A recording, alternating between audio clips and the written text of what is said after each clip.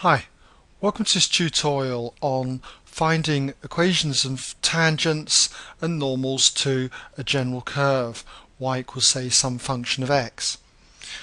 What I'm going to show you is the technique that we use and also I'm going to run through a numerical example. So first of all let's talk about tangents. Tangents at a point. So let's suppose we've got a point on the curve and it has coordinates say x1, y1. Then a tangent to the curve is going to be a line that just touches the curve and passes through this point here. It's going to look something like this. So it's going to come up like this. Alright? So this will be our tangent. Let's just write that in here, tangent. Okay? I also said we'll be looking at normals to curves. So what's a normal to a curve? Well, a normal is a line that is perpendicular at right angles to a tangent. So if it's going to pass through this point, it'd be a line looking something like this, coming through there and out like that. A normal. So just write that in green there. Okay, so how do we find the equation of a tangent and a normal? Well, they're straight lines. And straight lines have the form y minus y1 equals the gradient m multiplied by x minus x1. We know what x1 and y1 are. They're the coordinates of this point. m is the gradient, the gradient of the tangent. How do you work out the gradient? Well, you need to differentiate the curve. m is found by differentiating the curve with respect to x. Or some of you might know it as f dash x. And what we need to do is substitute this value of x1 into the curve in order to get the particular gradient at this point. So it's f dash of x1 or when x equals x1 we can find out the numerical value of dy dx.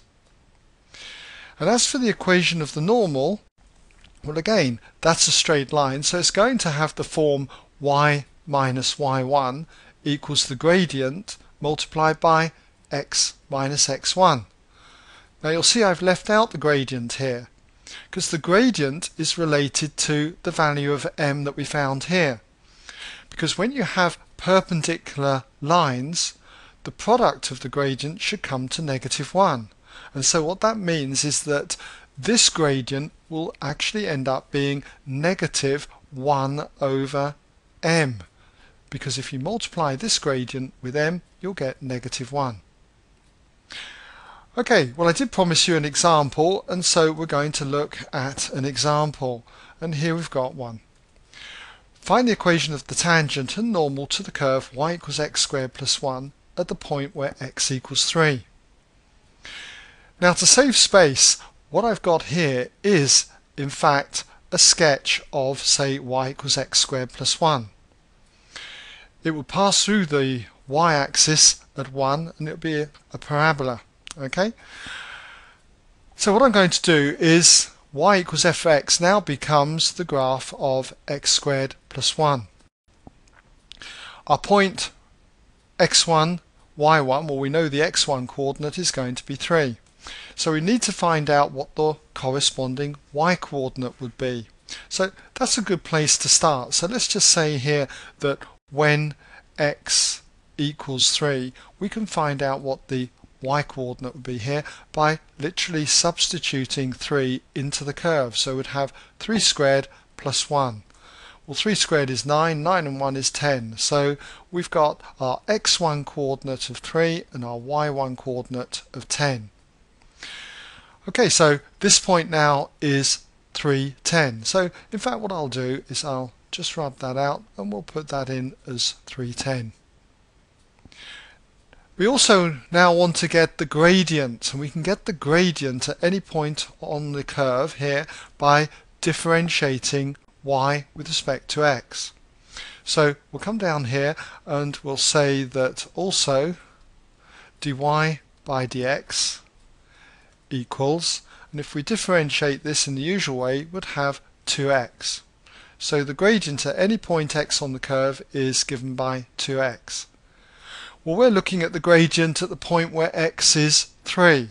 So we can say that when x equals 3, dy dx equals 2 times 3, which is going to be 6. So we've got the gradient of the tangent. We might as well also say that the gradient of the normal, let's just put this in here, therefore gradient of normal is going to be the negative reciprocal of this value. In other words, it's going to be equal to minus 1 over 6, minus 1 sixth. So now I'm in a good position to give the equation of the tangent and the equation of the normal because I've got my x1, y1 value and for the tangent I've got the gradient m as being 6 and for the gradient of the normal it's going to be minus 1 sixth. So rather than just do this, just have a little intro by saying therefore equation of tangent okay you could actually just say at 310 is and what it's going to be then using this format it's going to be y minus y1 y1 being 10 equals the gradient being 6 bracket x minus x1, x1 being 3. Alright, so put that in there. And you can either leave it like that or put it in a particular format. If we went for y equals mx plus c, all we've got to do is expand the bracket and just add 10 to both sides. And what you'll find you get is y equals 6x. You've got minus 18 plus 10, which gives you minus 8. When it comes to the equation of the normal, let's just go for that. Therefore, the equation of the normal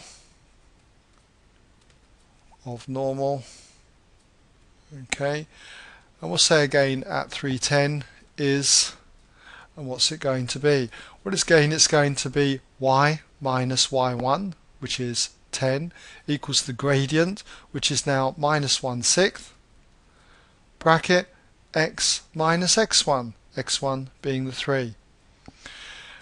And if you wanted to put this into, say, the form ax plus by plus c equals 0, then what I would do would be to times through by 6. That would therefore give me 6y minus 60 equals, and then for this side we'd just be left with minus 1 times x minus 3, which when you expand the bracket gives minus x plus 3.